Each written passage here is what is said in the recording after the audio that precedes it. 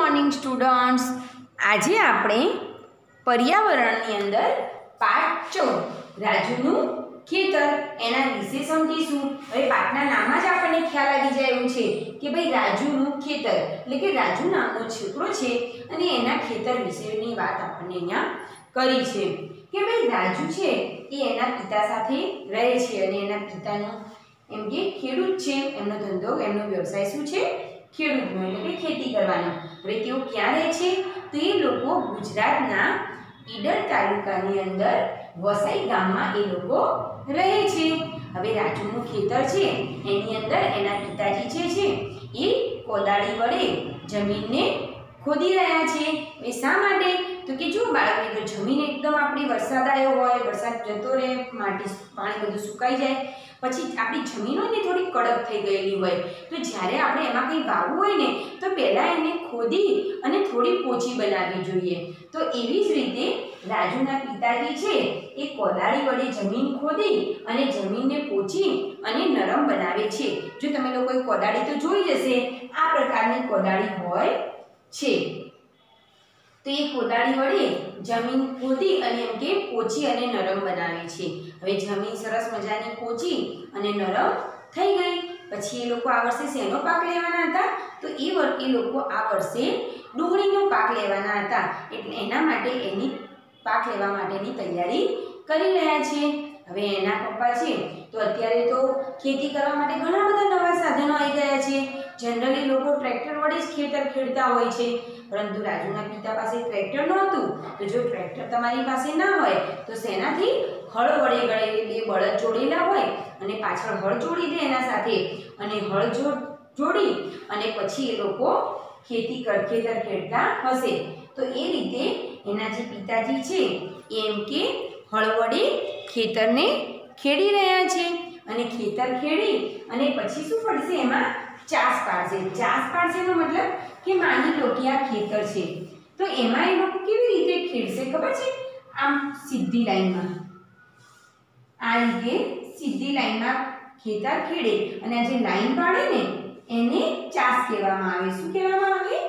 ચાસ પાડ કહેવામાં આવે. અને ચાસ પાડશે એ ચાસ પાડ્યા પછી એના પિતાજી શું કરશે?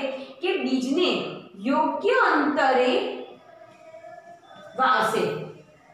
બરાબર? કારણ કે જો એક જ જગ્યાએ બહુ બધા બીજ રોપવામાં આવે, તો છોડ વ્યવસ્થિત રીતે વિકાસ ના પામે. કારણ કે એને એક જ જગ્યાએથી બધું પૂરતું પોષણ ના મળી રહે. માટે આપણે બીજ જ્યારે વાવવા હોય, ત્યારે આ ખાસ ધ્યાનનું રાખ- રાખવું પડે કે ભાઈ યોગ્ય અંતરે આપણે બીજને વાવવા જોઈએ. તો રાજુના પિતાજી છે, એ પણ એમ કે યોગ્ય અંતરે એને બીજ વાવશે. હવે તમને ખબર છે બાળક મિત્રો કે કોઈ પણ આપણે પાક વાવવો હોય તો એ પાક વાવવા માટે બીજનું જે આપણે બીજ વાવીએ એને શું કહેવામાં આવે છે? તો એને વાવણી કહેવામાં આવે છે.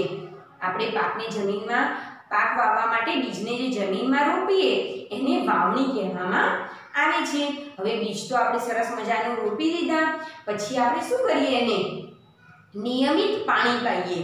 હવે જે આપણે પાણી પાવીએ ને, એને શું કહેવાય તમને ખબર છે? એને પિયત કરી કહેવાય. શું કહેવાય? પિયત કરી કહેવાય. હવે આપણે યોગ્ય રીતે સૂર્યપ્રકાશ તો મળી રહે, જમીન પોચી કરીએ એટલે એને હવા પણ અંદર મળી રહેવાની. આપણે પિયત દ્વારા એને પાણી સુંદર મજાનું પાયું. એટલે અંદાજિત વીસેક દિવસ જેવું થાય ને, એટલે જે આપણે બીજ હોય ને, એને ફણગો ફૂટી અને અંકુરિત કરે. છોકરીઓને તો ખબર હશે છોકરાઓને જો એમની બેન ને હોય અથવા આજુબાજુમાં કોઈ બહેનો રહેતી હોય, તો ગોરોની અંદર મમ્મી ઝવેરા વાવે છે. હે ને?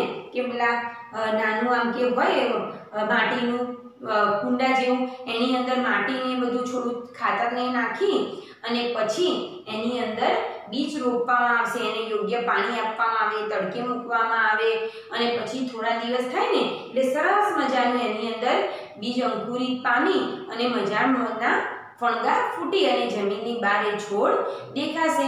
હવે આમાં હું એક શબ્દ બોલી, જે તમે ધ્યાન આપ્યું કે ખાતર નાખ્યું. હવે ખાતર એટલે શું, બાળક મિત્રો?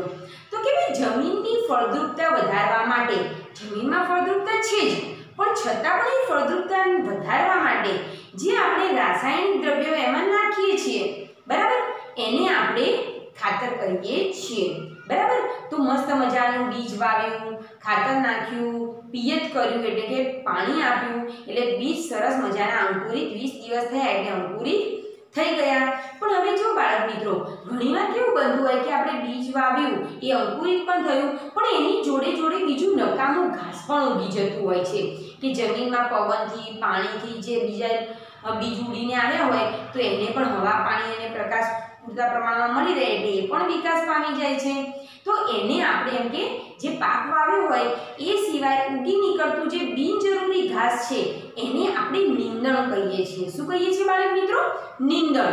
અને એ નીંદણ છે એ બધું જ આપણે દૂર કરી દેવું જોઈએ. એ નીંદણ બધું ચૂંટી ચૂંટીને કાઢી દેવું જોઈએ. શા માટે? કારણ કે, ભાઈ, તમે એ જે આપણે નીંદણ હોય, એ શું કરશે?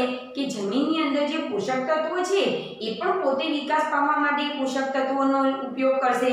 જેના કારણે આપણે જે પાક વાવ્યો છે, એને પૂરતા પ્રમાણમાં પોષણ તત્વો ના મળે. માની લો કે તમે ઘરમાં એકલા છો, બરાબર? રોજ તમને એક આખો કપ ભરીને દૂધ મળતું હોય. પણ કોઈ દિવસ તમારો કાકાનો છોકરો, માસીનો છોકરો કે કોઈ આવ્યું તો એને પણ જો દૂધ લે કે તમારામાં ભાગ પડાવે. તો તમને અડધો અડધો બંનેને કપ દૂધ મળે, એટલે કે તમને ઓછું મળે. એ જ રીતે નીંદણ, એ પણ એમ કે જે છોડ હોય, એની એમ કે ફળદ્રુપતામાં એના જે એને પોષક તત્વો મળે, એમાં ભાગ પડાવતું હોય. એટલે આપણે એને નકામું છે, તો આપણે એને દૂર કરી દઈએ. અને પછી ધીમે ધીમે યોગ્ય આપણે કાળજી રાખીએ, એટલે પાક ધીમે ધીમે મોટો થાય. હવે ડુંગળીનો પાક તૈયાર થઈ ગયો, એવું આપણને ક્યારે ખબર પડે? તો ડુંગળીનો પાક આપણા ઘૂંટણ સુધી આવી જાય. બરાબર? એ રાજુ છે. એના એમ કે ઘૂંટણ સુધી એ પાક આવી ગયો. અને એના જે પત્તા છે, એ પીળા અને સૂકા થઈ જાય. હે ને? તો આપણને ખબર પડી જાય કે ભાઈ સરસ મજાની ડુંગળી તૈયાર થયેલી છે. અત્યારે અત્યારે તમે હાલ બજારમાં જુઓ, શિયાળાની ઋતુ છે, એટલે લીલી ડુંગળી ખૂબ મળે. હે ને? તો એમાં આપણે જોઈએ પાછળનો પત્તો જે હોય, એ બધો પાછળનો પાર્ટ છે. એ ગ્રીન કલરનો હોય અને આગળનો ભાગ છે જે ગોળાકાર જેવો, એના અંદર લીલી ડુંગળીનો સફેદ જેવો ભાગ હોય. તો એ જમીનમાં જમીનમાં હજી આપણે રહેવા દઈએ, તો નીચેનો ભાગ છે એ ધીમે ધીમે મોટો થતો જશે અને જેમ જેમ નીચેનો ભાગ વિકાસ પામશે, એમ ઉપરના પત્તા છે એ ધીમે ધીમે પીળા થતા જશે અને એકદમ પીળા પડી જાય અને સુકાઈ જાય એટલે આપણને ખબર પડી જાય કે ભાઈ ડુંગળીનો પાક સરસ મજાનો તૈયાર થઈ ગયો છે. હવે પાક તૈયાર થઈ ગયા પછી એ પાકને જે આપણે કાપીએ ને બાળક મિત્રો, એ કાપવાની ક્રિયાને લલણી કહેવામાં આવે છે. એટલે કે પાક તૈયાર થઈ ગયા પછી એ પાકને લેવાની જે ક્રિયા છે, એને આપણે લલણી કહીએ છીએ. હવે સરસ મજાનો પાક તૈયાર થઈ ગયો. પાક કાઢી પણ લીધો બહાર અને ખેતરમાં મૂકી અને પછી સરસ મજાના ઘરે લાવી પણ દીધો એમને. અને પછી એ પાક લાવ્યા, એના પછી આપણે જુઓ, તો એ લોકોએ શું કર્યું? કે એ પાકને એમ એની રાજુની મમ્મી અને રાજુની કાકી, એ બંને જણા એમાંથી સુકાયેલી જે ડુંગળી હતી, એ અલગ પાડવા માંડ્યા. હવે તમને ખ્યાલ છે બાળક મિત્રો, કે ભાઈ આપણી જે ડુંગળી છે, એ ડુંગળીને કાપવા માટે કયા સાધનનો ઉપયોગ થાય છે? તો ડુંગળી કાપવા માટે ઇંગ્લિશ નામના સાધનનો ઉપયોગ થાય છે. હવે ઇંગ્લિશ કેવું હોય? તો એ ઇંગ્લિશ એ એક પ્રકારના દાંતરડા જેવું સાધન આવે છે. દરેક બાળક મિત્રો, જો દાંતરડું તો તમે જોયેલું જ હશે જો કોઈએ ના જોયું હોય ને, તો કેવું હોય છે દાંતરડું ખબર છે? એ દાંતરડું આ પ્રકારનું હોય છે આમ. તમે જોયું હોય તો જોજો આ પ્રકારનું દાંતરડું હોય છે. તો એ દાંતરડાના જેવું જ અહીંયા ઇંગ્લિશ જો અહીંયા મેં દોર્યું છે બોર્ડમાં. શકો છો કે ઇંગ્લિશ કેવું હોય. તો એ ઇંગ્લિશનો ઉપયોગ થાય છે, પણ ઇંગ્લિશનો ઉપયોગ કરતી વખતે આપણે કઈ બાબતનું ધ્યાન રાખવું પડે? તો ઇંગ્લિશ એ સાધન ખૂબ જ ધારદાર હોય છે. તો એને કાપતી વખતે આપણે આંગળી કે અંગૂઠો કપાઈ ના જાય એ વસ્તુનું આપણે ધ્યાન રાખવું જોઈએ. અને પછી આપણે સરસ મજાની ડુંગળી બહાર અલગ પાડી દીધી, સૂકાને પીળા પાંદડા હતા, એ બધા અલગ કરી દીધા અને ડુંગળીનો બધો જ પાક સરસ મજાનો તૈયાર કરી દીધો રાજુની મમ્મી અને કાકીએ ભેગા મળીને. અને પછી એનું કામ શું છે? તો એને એ લોકો કોથળામાં ભરી દેશે.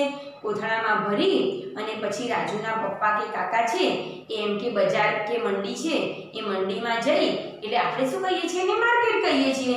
તો એ માર્કેટમાં જઈ અને પછી એ સામાન એમનો જે ડુંગળીનો પાક છે, એ વેચી આવશે. જેના કારણે એમને આ મહેનત કરી, એના આધારે એમને બધા પૈસા મળી જશે. તો આ રીતે રાજુનું જે ખેતર હતું, એમાં એમણે ડુંગળીનો પાક કેવી રીતે તૈયાર કર્યો, એ જોયું. આ ઉપરાંત આપણે એ પણ જોઈ શકીએ, બાળક મિત્રો કે ખેતી માટે કયા કયા સાધનોનો ઉપયોગ થાય તો આપણને બધા જ અત્યારે તો ખેતી માટે બધા જાત જાતના ને ભાત ભાતના નવા નવા સાધનો આવી ગયા. પહેલાના જમાનામાં તો કેવું હતું તમને ખ્યાલ છે બાળક મિત્રો? કે ભાઈ ખેતી કરે, પછી પાક લેવાઈ જાય, પછી એને પવનથી ઉપણવામાં આવતું. ઉપણવું એટલે કે જે પવન આવતો હોય ને એની અંદર એને પહેલાં ઝાટકી દે, એટલે કે એને પછાડી અને બધું એનું દાણા અને એના ઉપરના જે છાલ હોય એને અલગ પાડી દે અને પછી એને ઉપણે ઉપણીને એને અલગ કરે, પછી ઘઉં, બાજરી એવું હોય ને, તો એને ઉપણી અને એને ઝાટકીને અલગ કરે ને હવે તો થ્રેસર આવી ગયા. હે ને, તો એના મદદથી ફટાફટ એમ કે બધું દાણા અને ભૂસું હોય એ બધું અલગ પાડવા માંડ્યા.